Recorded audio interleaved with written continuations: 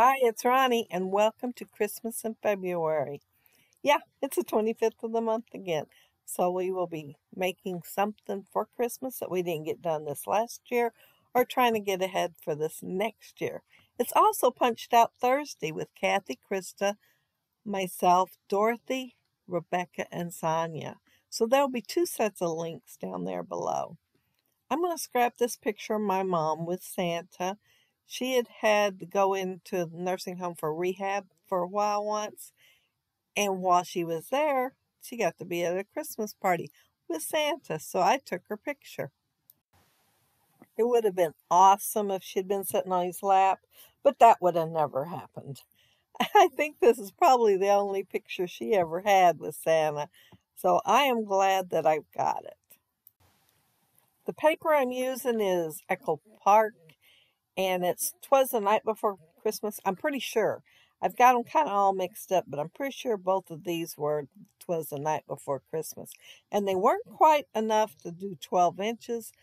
So I put them on white paper that was a little bit damaged.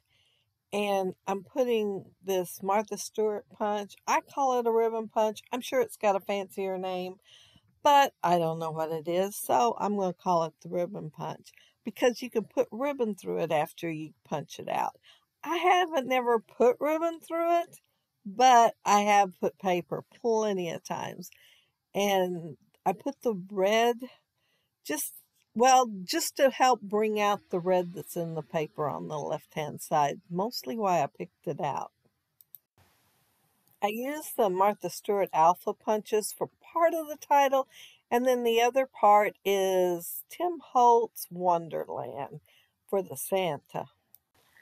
And the title is You Are Never Too Old for Santa. If she'd been sitting on his lap, though, I would have said, You're never too old to sit on Santa's lap. But, you know, that didn't happen.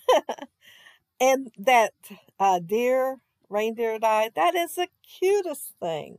Ella Connor here on YouTube she sent me some steel rule dies at Christmas, and that was one of the ones she sent. And I thought, oh man, I don't want to have to wait a whole nother year to use this little reindeer. And then I thought, oh yeah, isn't it awesome? We're going to be doing the 25th of the month again. So yeah, I took the dark brown one that I punched cut out first and put it on the bottom so the antlers would come up behind the head of the deer. And then I punched out the body part of the deer in, well, it's a kraft, but it kind of looks like an old paper bag because it has little spots on it. And I thought, well, that will look cute on the deer. And then I inked it with uh, Tea Dye ink. And I also used a little scrap of gold on the collar. And that collar is just so cute.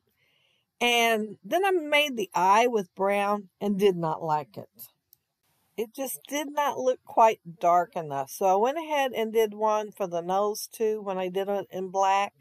And I like that a whole lot better. I'm highlighting it with my Signo pen. I bought it at the same time I bought the gel pens, thinking I bought Signo pens for years and they never last very long. This one's lasted longer than any of them. And so, yeah, and I like the gel pens too. So I think I'll probably buy them again because it came in a set of three and it's like three different point sizes. So I can use three different ones depending on what I need them for. And the three of them were cheaper than the one Signo. So that was impressive too. Um, I'm using, well, it's, I used a chipboard piece that came off that chipboard and it says Santa Claus is coming to town. Well, you can see he's already there, but I went ahead and used it anyway. And then I used a tag that says Happy Holidays. And since I didn't need the whole way up there at the top of my page, I cut that off and I'm just going ahead and using it anyway by tucking it behind the photo and putting some twine with it.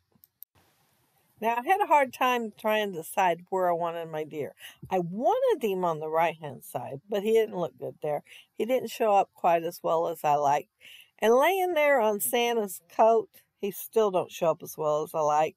So I'm going to end up moving him over where he shows up on the beard because of the beard being white. And I like that better.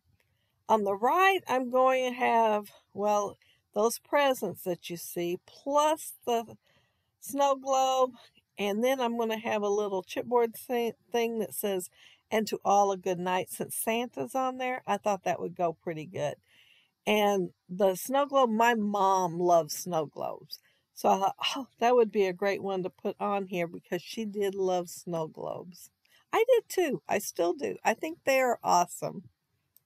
I don't know who thought of it to do something like that, but it is so cute. I think, um, well, I, I, I've never known a little kid that didn't love it.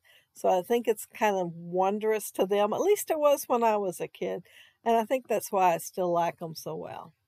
I went to set my deer on the page and I thought, well, his legs look kind of spindly and I they were just kind of sitting there, you know. So I used the Tim Holtz, I think they're called Christmas greenery dies and cut some greenery. And I'm also going to put some journaling on here.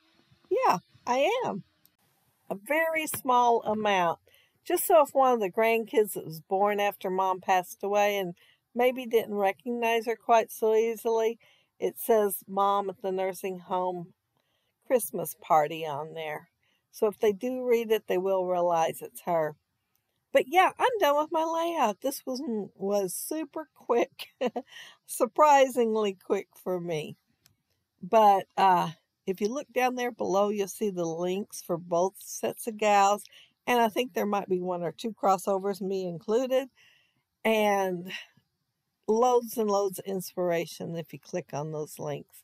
If you want to see some Christmas, click on the ones for the Christmas one, of course. And if you want to see the punched out Thursday and see what they do with their punches, click on them. Well, just click on all of them.